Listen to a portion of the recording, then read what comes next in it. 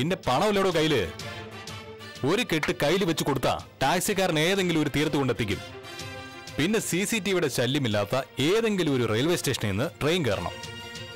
അങ്ങനെ ട്രെയിൻ കേറി കേറി കേറി കൽക്കട്ടയിൽ എത്തണം. അവിടെ ആരാടാ? അവിടെ ഉണ്ടോ ജോസേട്ടൻ? കീരിക്കാടൻ ജോസ്. ബംഗാളികൾ ഇങ്ങോട്ട് വരുമ്പോ നമ്മൾ അങ്ങോട്ട്. ഇപ്പോഴേ ബംഗാൾ മുഖ്യമന്ത്രിക്ക് തലവേന തുടങ്ങി കാണും. നീ ചെന്ന തലവേന കൂടൂടാ എന്ന് വെച്ചാൽ ഈ തലയും വെച്ചോണ്ട് നീ ഒരു ഗവൺമെന്റ് തന്നെ മറച്ചിടും. ലീനയ്ക്കും രോഹിണിക്കും രഹനയ്ക്കും സ്തുതി.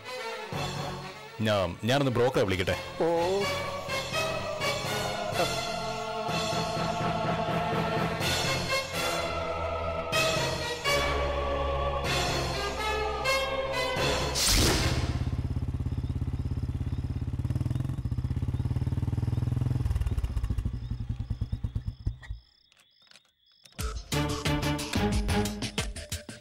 ഇത് വേറെ പോലീസ് സ്റ്റേഷൻ പരിധിയാ. മറ്റേ സ്ത്രീ എന്നുള്ള സ്ഥലമല്ല. എല്ലാം നടക്കുവോ? പറഞ്ഞുറപ്പിച്ചിരിക്കല്ലേ.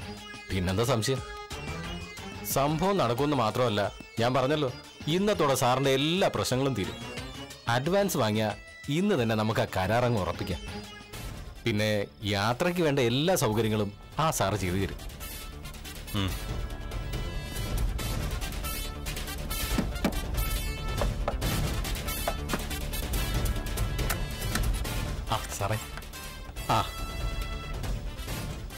ഇതാണ് ഞാൻ പറഞ്ഞ ആൾ. ആ. ഇത് സാറിന്റെ പങ്കാളിയാ. ഇവിടുത്തെ ബിസിനസ് ഒക്കെ നോക്കി നടത്തുന്നത് ഇദ്ദേഹമാ. ഹലോ ഹലോ ഇതുപോലെ ഒരാൾ ഞങ്ങൾക്കൊപ്പം ഉണ്ടായിരുന്നെങ്കിൽ ഞങ്ങൾ തകർത്തേനെ. ഇത്തരക്കാരെയാ ഞങ്ങൾക്ക് ഇഷ്ടം അതുകൊണ്ട് ഈ ബിസിനസ് കഴിഞ്ഞാൽ സാറിന് ഞങ്ങൾ കൊണ്ടുപോവാ. പ്രോപ്പർട്ടിയുടെ രജിസ്ട്രേഷൻ കഴിഞ്ഞ ഉടനെ കൊണ്ടുപോകാനാ സാറിന്റെ തീരുമാനം. സാർ എവിടെ ആ വരൂ. നിങ്ങൾ ഇവിടെ നിന്നാ മതി. ഓ വരൂ. തനിക്കുള്ള പൈസ ഞാൻ അവിടെ നിന്ന് തിരിച്ചു വന്നിട്ട് തരാം. ഓ മതി. എടോ ഇങ്ങനെ നിൽക്കാതെ പൈസ കിട്ടുന്ന അറിയുമ്പോൾ ഒന്ന് സന്തോഷിക്കടോ. വരൂ. മുതലാളി ഇപ്പൊ വരും. ആ. എന്നാ പിന്നെ അഡ്വാൻസ് ഇല്ലാതെ തന്നെ നമുക്ക് കാര്യങ്ങളൊക്കെ നീക്കാറുന്നല്ലോ സംസാരിച്ചു നോക്ക്. ചിലപ്പോ സാറ് സമ്മതിച്ചേക്കും. സാറിന് പറമ്പ് ഇഷ്ടപ്പെട്ട പിന്നെ പൈസയൊന്നും നോക്കത്തില്ല. അത് വാങ്ങിച്ചെടുത്തിരിക്കും ഈ അമേരിക്കയിൽ എവിടെയാ സാറ്? അമേരിക്കയിൽ എല്ലായിടത്തും ഉണ്ട്. എടുത്തോ അല്ല അവിടെ എല്ലാ സാറിന് ബിസിനസ് ഉണ്ട്. ഓ ഈ സാർപ്പ് വരുവോ? ആ വന്ന ഉടനെ തന്നെ തന്റെ പ്രമാണം രജിസ്റ്റർ ചെയ്ത് തരും. ഓ. കത്തിയെടുക്ക.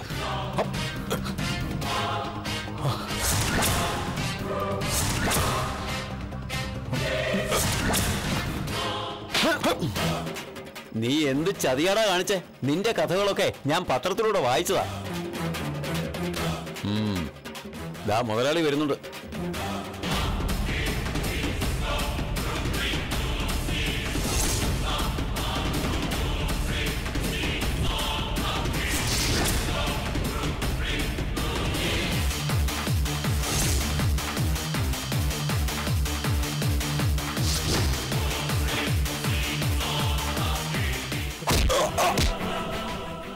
കരാർ ഉറപ്പിക്കാൻ വന്നതാണല്ലേ അതിനു മുമ്പ് ഞങ്ങൾ ഒരു കരാർ ഒപ്പിട്ട് കഴിഞ്ഞു അഡ്വാൻസ് തരുന്നില്ല മൊത്തത്തിൽ അങ്ങ് തരാം ഉം.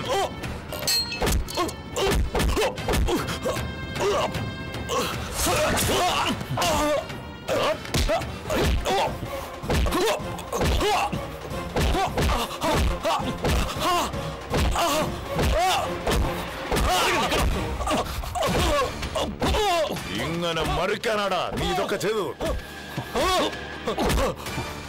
മതി ഇനി മതി. പെട്ടെന്ന് കൊള്ളരുത്. ശരീരത്തിലെ പല ഭാഗങ്ങളും നോവാനുണ്ട്. നൊന്ത് നൊന്ത് പിടയുമ്പോ ഇവൻ വഞ്ചിച്ച എന്റെ മകൾ ഉൾപ്പെടെ എല്ലാ പെൺകുട്ടികളുടെയും മുഖം ഇവനെ ഓർക്കണം. അവർ അനുഭവിച്ച വേദനയേക്കാൾ ശരീരം നൊന്തവൻ അനുഭവിക്കണം. നീ കൊല്ലാൻ ശ്രമിച്ചു പലരെയും. കൂട്ടത്തിൽ എന്നെയും. എന്നാ മരണം തലനാരിഴയ്ക്ക് അകന്നു പോയി അത് നിന്റെ പിഴവ്. എന്നാ ഇവിടെ ഇനി പിഴവ് പറ്റില്ല.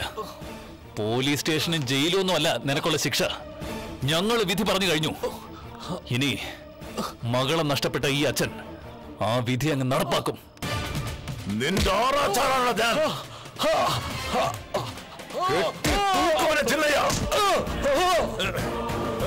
നിങ്ങൾ പോയിക്കോ.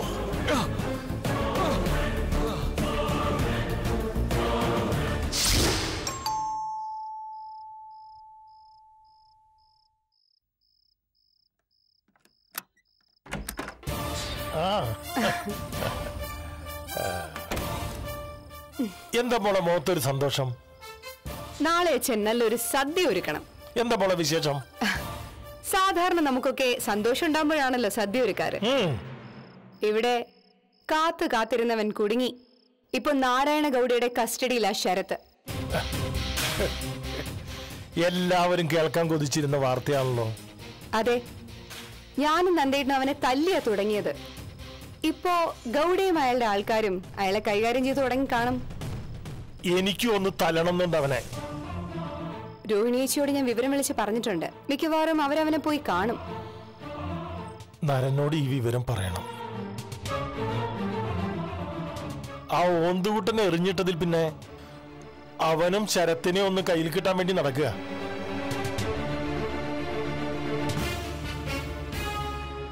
ഇന്നത്തെ ദിവസം മുഴുവൻ ശരീരം നൊന്ത് വേദനിച്ച് വേദനിച്ച് അവന് രാത്രി പകലാക്കേണ്ടി വരും. നാളെ അവനെ എങ്ങനെ കൊല്ലണമെന്ന് തീരുമാനിക്കും. പെട്രോൾ ഒഴിച്ച് കത്തിക്കാനാ ഇപ്പൊ തീരുമാനം. ഇനി പെൺകുട്ടികളെ കരയിക്കാൻ അങ്ങനെ ഒരു അവതാരം ഇല്ല. ശരത്ത് തീർന്നു. ശരത് അല്ല അവൻ. വിതുര സുരേഷ്. പത്ത് പന്ത്രണ്ട് വയസ്സായപ്പോ തന്നെ നാടുവിട്ടു പിന്നെ പല പല ദേശങ്ങളിലായി കറക്കം. പല ഭാഷയും സംസ്കാരവും പഠിച്ചു. പിന്നെ അവൻ അവന്റെതായ ഒരു ശൈലി രൂപപ്പെടുത്തിയെടുത്തു. ആൾക്കാരെ പുഞ്ചിരിയിൽ വീഴ്ത്തിയ ശേഷം കൊല്ലുന്ന ക്രിമിനലായി. ഇത്രയും നാളവൻ രാജാവിനെ പോലെ നടന്നു. ഇന്ന് ആ രാജാവിന്റെ കഥ ദയനീയമായി പര്യവസാനിക്കുന്നു.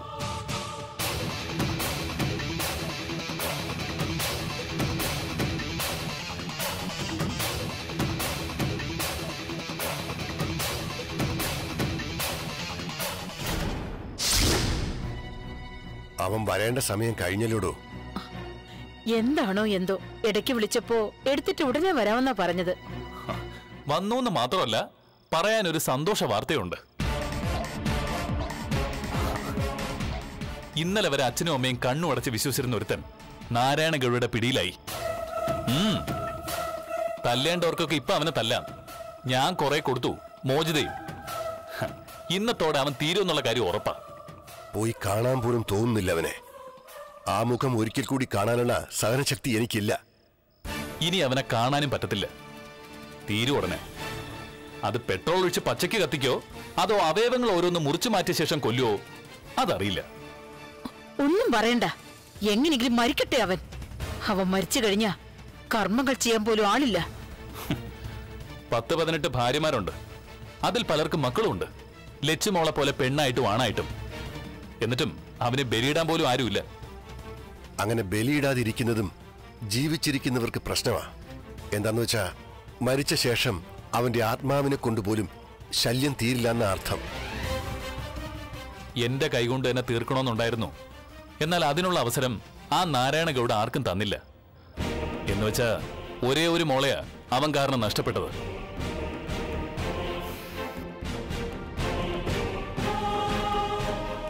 തുല്യ ദുഃഖിതരല്ലേ ജയപ്രഭ നമ്മളും? ഒരുപാട് ഓമനിച്ച ഇളയ മോളെയല്ലേ അവൻ ക്രൂരമായിട്ട് കൊലപ്പെടുത്തിയത്? പോരാത്തതിന് രോഹിണി നന്ദനയും അവൻ കൊല്ലാൻ ശ്രമിച്ചല്ലോ. ഇത്തിരി ഭാഗ്യമില്ലായിരുന്നെങ്കിൽ ഇന്ന് മക്കളില്ലാത്ത അച്ഛനും അമ്മയും ആയനെ നമ്മൾ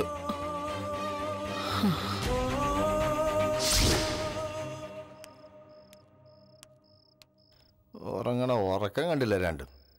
ഡേയ്, ഓ എന്തോ? എനിക്ക് നിന്റെ തള്ളകളെ വിളിച്ചോണത്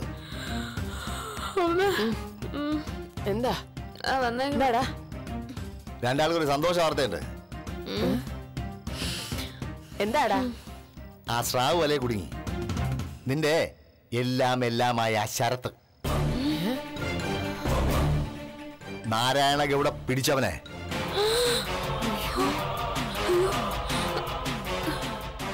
ഇനിയിപ്പ തെളിവെടുപ്പിനായി പോലീസൊന്നും വിട്ടുകൊടുക്കൂല.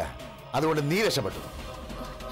അവനെ കൊന്നാ പിന്നെ നിന്റെ പേരോടൊന്നും പറയൂല്ലോ അവൻ മരിക്കണേ ഭഗവാനെ.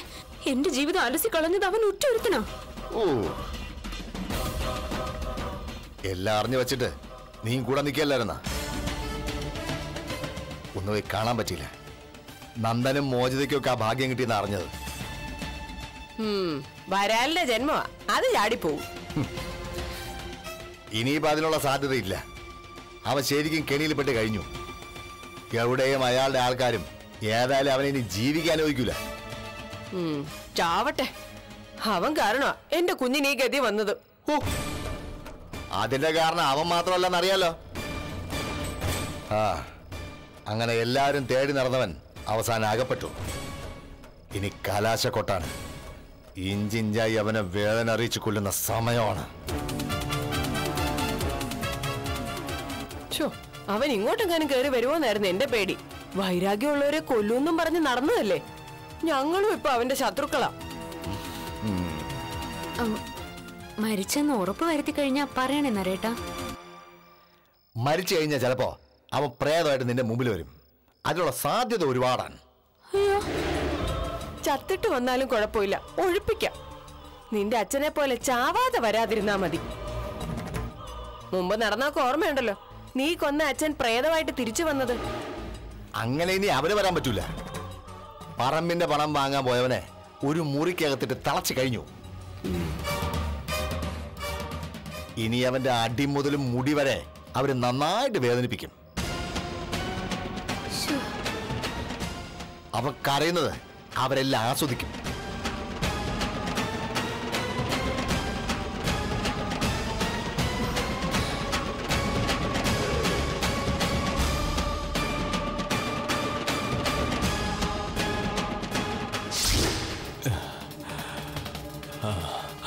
കൊല്ല് സാവേ കൊല്ല് കൊല്ലാം കൊള്ളാതെ കൊല്ലാം ഇനിയുമുണ്ടട കാഴ്ചക്കാർ ഒരുപാട് വയ്യ വയ്യ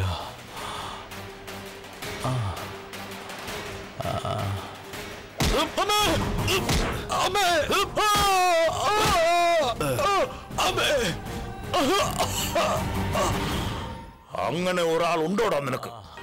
അമ്മയുണ്ടോ? എല്ലാരും വിളിച്ചില്ലേ? വിളിച്ചയ്യ. ഉം, വരട്ടെ. എല്ലാരും വരട്ടെ.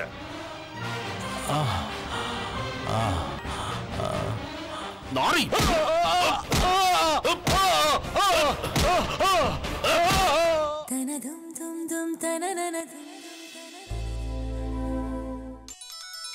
ആരാണ് ഈ നട്ടപ്പാതിരിക്ക്? ആ പറ നന്ദമോനെ. അത് സംഭവിച്ചു. അവനെ കൈ കിട്ടി ആ ശരത്തിനെ. ഇപ്പോഴോ നേടിണ്ട്?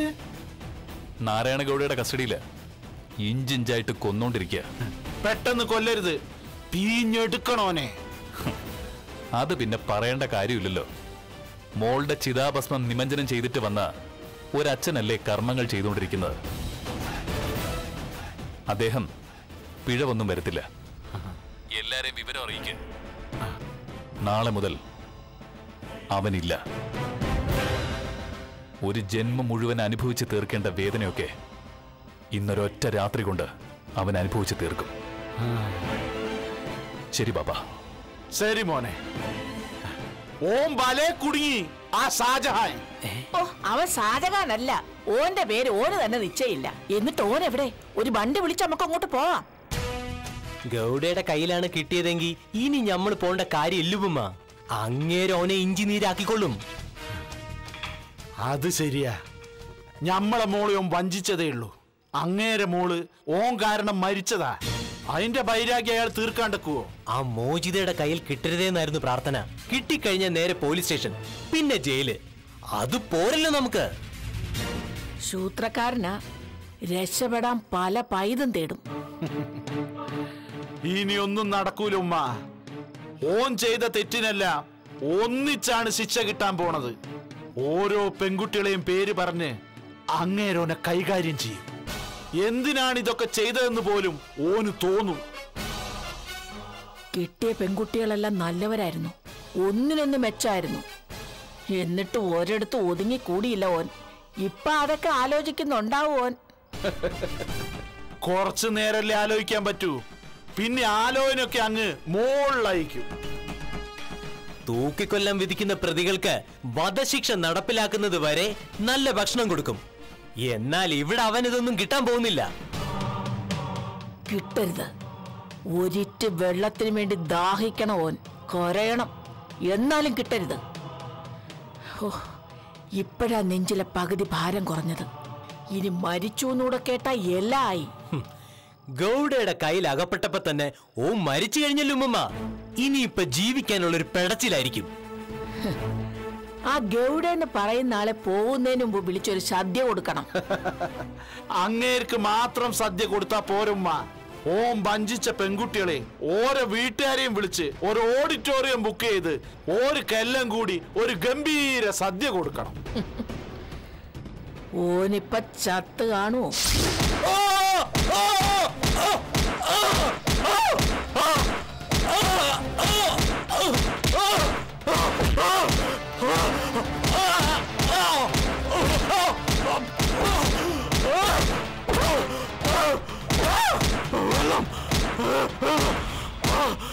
വെള്ളം നിർത്ത പറഞ്ഞത് കേട്ടില്ലേ? അവന് വെള്ളം വേണമെന്നും കൊടുക്ക്. ചിന്നയ്യ. ആ. സാറിന് കുറച്ച് വെള്ളം കൊടു. ഇത് പറഞ്ഞു അയ്യാ. ആ ഇപ്പൊ ബരോടാ വധശിക്ഷ വിധിച്ചിരിക്കല്ലേ അതുകൊണ്ട് ഞാൻ നയം മാറ്റി. നീ പറയുന്നതെല്ലാം തരാനാ തീരുമാനം. ആ. കൊടുക്ക്. ദാട വെള്ളം. കുടിക്കട്ടെ അവൻ കൈക്ക് സ്വാധീനം കാണില്ല. ബായിലേക്ക് ഒഴിച്ചുകൊട്. കുടിക്കട. എന്താടാ? എന്തെങ്കിലും ടേസ്റ്റ് വ്യത്യാസമുണ്ടോ? കാണോ അയ്യാ. വെള്ളം കിട്ടാനില്ല. പിന്നെ വെള്ളം കൊടുത്തല്ലേ പറ്റൂ.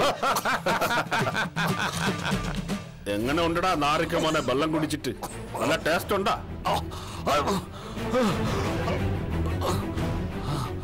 ആ നോക്കടാ. ആരൊക്കെ വന്നിരിക്കുന്നെന്ന്.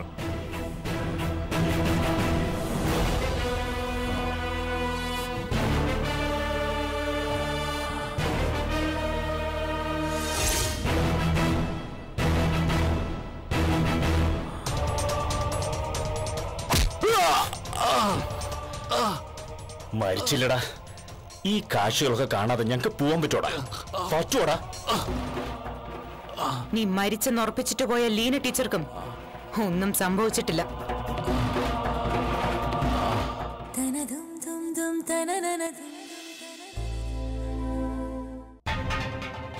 നീ മരിച്ചെന്ന് ഉറപ്പിച്ചിട്ട് പോയ ലീന ടീച്ചർക്കും ഒന്നും സംഭവിച്ചിട്ടില്ല.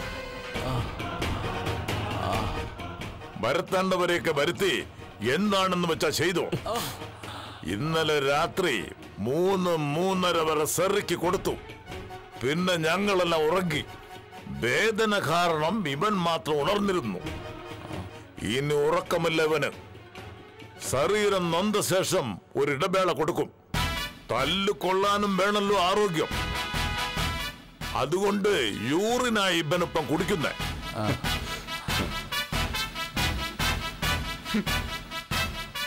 ആ റഹന മോൾ എവിടെ? അവളും വരും ഉടനെ. ആ എല്ലാവരും വരട്ടെ. അതിനുശേഷം ഈ ഭൂമിക്ക് തന്നെ ബാധ്യതയായ ഇവനെ എവിടെയെങ്കിലും കൊണ്ട് കളയണം. വിറക് കൊണ്ട് സിത കൂട്ടിയാൽ ആ അഗ്നിക്ക് ഇവനെ ദഹിപ്പിക്കാൻ കഴിയില്ല. അതുകൊണ്ട് പെട്രോൾ ഒഴിച്ച് കത്തിക്കാനാ തീരുമാനം. ആദ്യം കാൽ കത്തിക്കും. പിന്നെ മുകളിലോട്ട്. വേദന അറിഞ്ഞൊരു മരണം.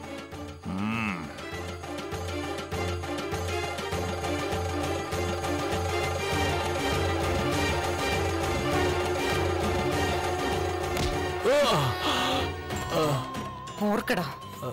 നീ ചെയ്ത ചതികൾ. ഞാൻ ഉൾപ്പെടെയുള്ള പെൺകുട്ടികളോട് ചെയ്ത ദ്രോഹങ്ങൾ.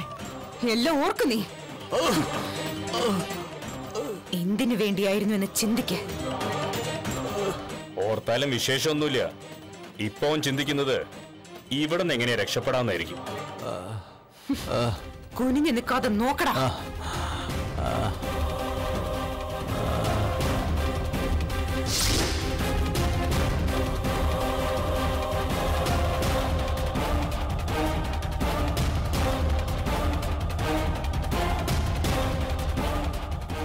ഇന്നലെ രാത്രി നടന്ന സംഭവങ്ങളൊന്നും സാറ് പറഞ്ഞില്ല.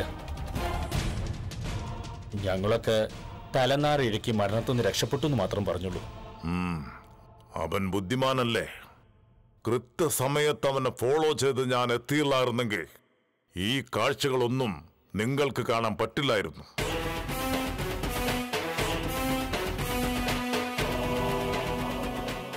ലീനയെ കൊന്നെന്നവൻ കരുതി. പിന്നെ മോളും ജോസും ജോസിന്റെ അമ്മച്ചിയും അവിടെ ഉണ്ട്. നിങ്ങളോടൊക്കെയാണല്ലോ അവന് ശത്രുത കൂടുതൽ അങ്ങനെ വരുമ്പോ എന്തും സംഭവിക്കാമെന്ന അവസ്ഥയിൽ നടക്കുന്ന അവന് അതിനൊക്കെയുള്ള മനസ്സ് തോന്നും. അവന്റെ നാശം കാണാൻ ആഗ്രഹിക്കുന്നവരെ നശിപ്പിച്ച് കഴിഞ്ഞാൽ പിന്നെ അവരത് കാണില്ലല്ലോ. എന്തായാലും അവൻ ആഗ്രഹിച്ചതുപോലെയൊന്നും നടന്നില്ല. എല്ലാം പാളിപ്പോയി. അത് അവനെ കൃത്യമായി ഫോളോ ചെയ്തത് കൊണ്ട് സംഭവിച്ചതാ. മോചിതയോട് വേണം നന്ദി പറയാൻ. ആ കുട്ടിയാണ് നിരന്തര സന്ദേശങ്ങൾ കൈമാറിക്കൊണ്ടിരുന്നത്. ജോസോ നന്ദനോ നരനോ അവനെ കണ്ടാൽ കൊള്ളുമെന്നുള്ള കാര്യം ഉറപ്പായിരുന്നു. നിങ്ങളൊക്കെ ഭാവിയുള്ള പിള്ളേരാ. നിങ്ങളാരും ജയിലിൽ പോകാൻ പാടില്ല. അതെന്താവശ്യമായിരുന്നു? അതുകൊണ്ട് ഞാൻ മോചിതയോട് പ്രത്യേകം പറഞ്ഞിരുന്നു. നിങ്ങളെ ഒന്ന് അറിയിക്കരുത്.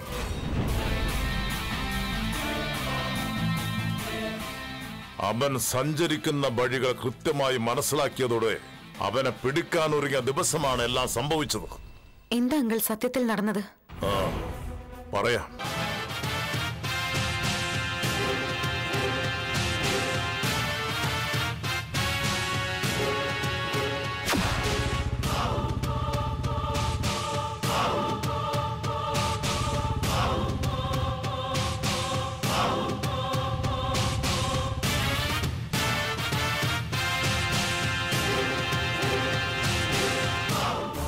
മരണത്തിലേക്കുള്ള യാത്രയുടെ സമയമായി.